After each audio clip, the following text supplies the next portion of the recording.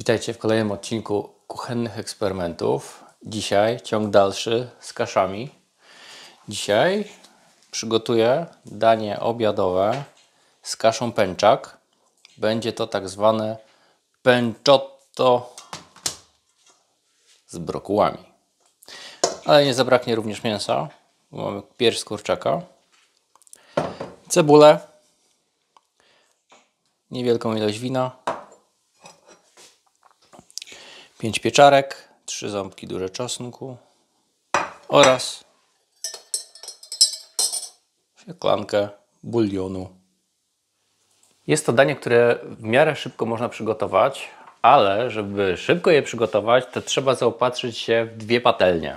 Na jednej, takiej większej, głębszej, będziemy zbierać nasze półprodukty, które dadzą nam to gotowe danie, a na tej mniejszej będziemy podsmażać na przykład mięso. Tutaj w tym daniu e, pęczaka nie będziemy gotować osobno. Rozpoczniemy od tego, że rozgrzejemy olej na patelni, tej większej i dodamy suchą kaszę i będziemy ją prażyć przez około 3 minuty. Ale poczekamy jeszcze chwilę, się to nam rozgrzeje i będziemy dodawać kaszę. Olej mamy już rozgrzany, więc wsypujemy kaszę. Lekko ją pomieszamy z olejem, tak żeby nabrała tłuszczu. I zostawimy ją, jak mówiłem wcześniej, na 3 minuty, żeby nam się podprażyła. E, nie róbcie tego na dużym ogniu lub na wysokim stopniu podgrzewania, bo może Wam się spalić. Generalnie delikatnie ma się nam poprażyć. Dobrze, ją tak zostawimy. Przechodzimy do kurczaka. Kurczaka musimy usmażyć, więc na drugiej patelni już go wrzucimy. Przed smażeniem użyjcie przyprawy do mięsa lub ziół, które po prostu lubicie dodawać do, do, do kurczaka.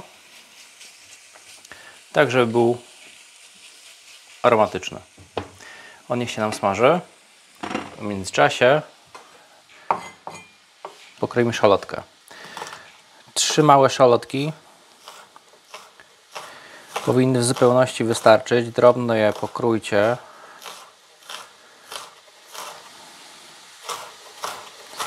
Jeśli zostaną gdzie niegdzie jakieś większe kawałki, to też nic wielkiego nie stanie. Ale im drobniej będzie, tym bardziej się one rozprzestrzeni po tym naszym daniu. Będzie bardziej aromatyczne.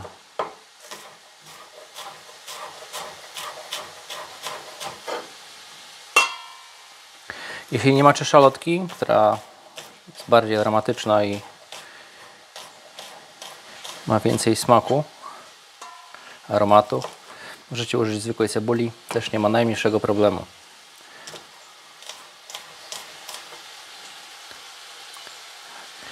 Dobrze, cebulę mamy pokrojoną. Możemy ją dodać do wyprażonej kaszy.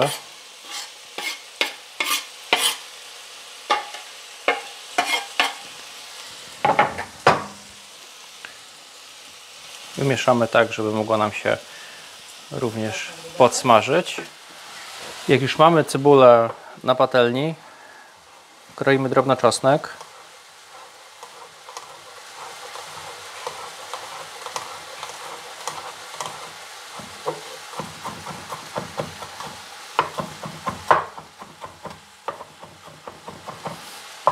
Trzy ząbki, go również dodamy.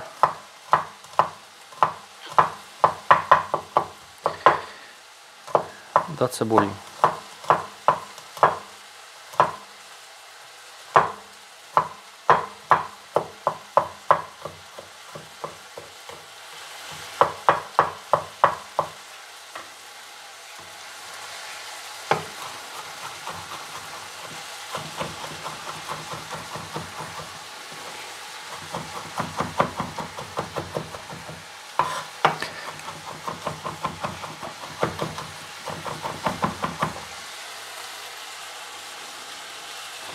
Bierzemy czosnek.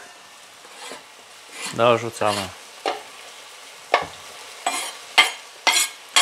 Oczywiście możecie go jednocześnie skroić razem z cebulą bez żadnej przerwy i po prostu wyrzucić go do, do kaszy na patelnię.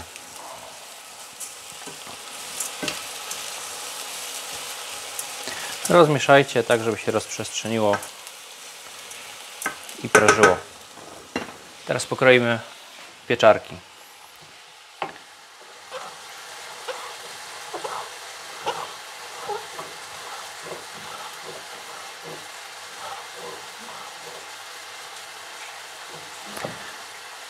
Pieczarki możecie pokroić na małe, większe kawałki. One wiadomo, że podczas procesu smażenia się kurczą.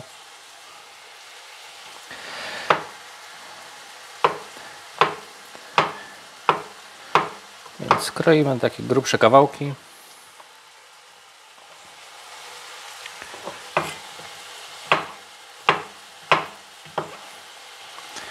Pieczarki pokrojone.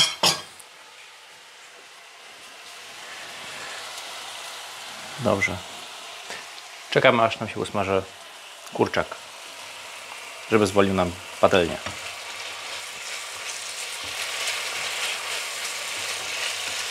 Kurczak już nam się usmażył, przynajmniej wystarczająco, żeby go dodać do naszej dużej patelni, na której zbieramy wszystkie składniki.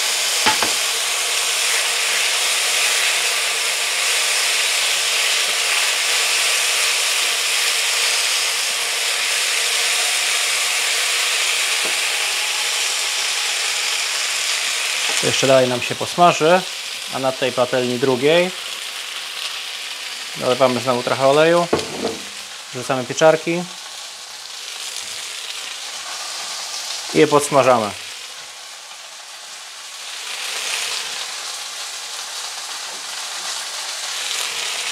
Ok.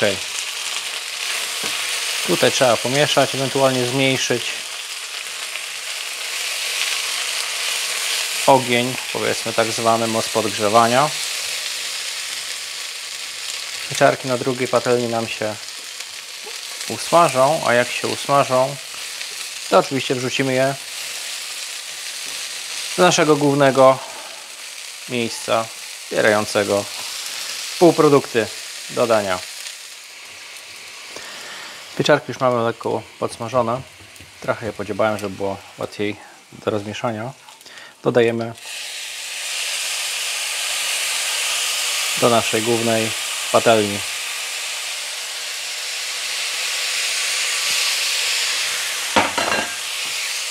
Wymieszać. I teraz dodajemy brokuły. Brokułów nic z nimi nie robimy. No, oprócz mycia i pokrojenia na małe kawałki. Wrzucamy do tej naszej dużej patelni i tak smażymy przez 5 minut.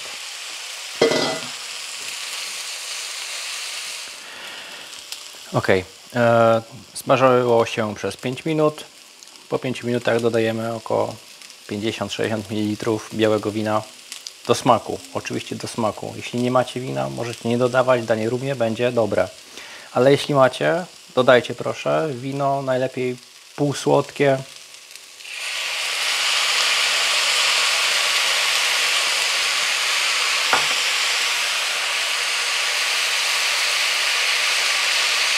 Trzeba chwilę poczekać, aż odparuje i ten aromat przejdzie nam przez nasze danie.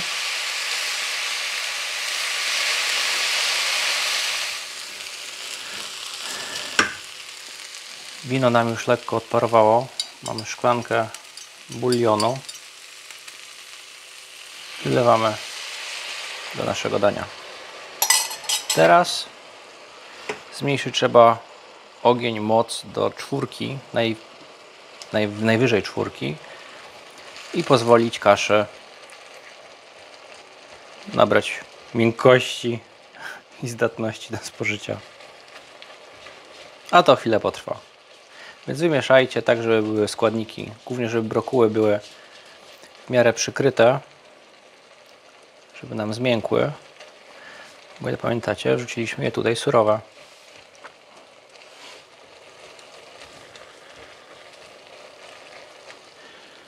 Podczas smażenia, czy tam duszenia bardziej, dodajcie jeszcze jedną szklankę samej wody. Akurat dzisiaj danie było lekko zmodyfikowane. Dodaliśmy większą ilość kaszy.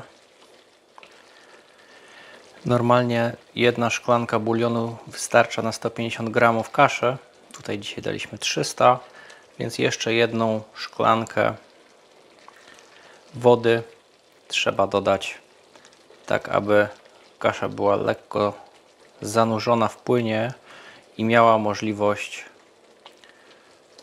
dojścia do właściwych parametrów, czyli będzie po prostu miękka i smaczna. Już niewiele nam brakuje. Kasza już jest prawie dobra. Ale jeszcze moment. Jak już danie będzie prawie gotowe, dodać możecie. Nie musicie, ale sugeruję, żebyście dodali różnego rodzaju przyprawy. Niewielka ilość oregano pozwoli na szybsze strawienie e, tego dania.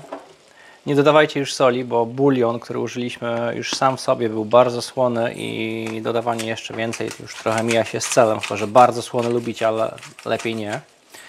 Możecie trochę popieprzyć i tyle. Więcej przypraw nie, nie dodawajcie, bo danie straci wyraz i będzie tylko jakimś takim miksem nie wiadomo czego. Więc trochę oregano, trochę pieprzu, trochę soli, jeśli Wam brakuje. I to jest tyle.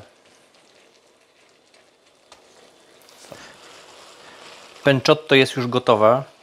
Na patelni było przez około 20 minut, bo tyle akurat kasza pęczak wymaga, aby zostać ugotowana.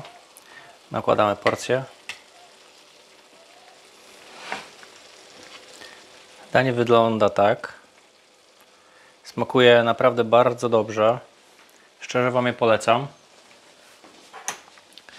Nie wymaga dużo czasu, żeby je zrobić. Jest kasza.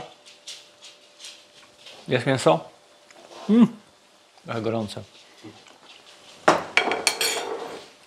Życzę Wam smacznego. Mam nadzieję, że skorzystacie z tego przepisu. Do zobaczenia w następnym odcinku. Cześć.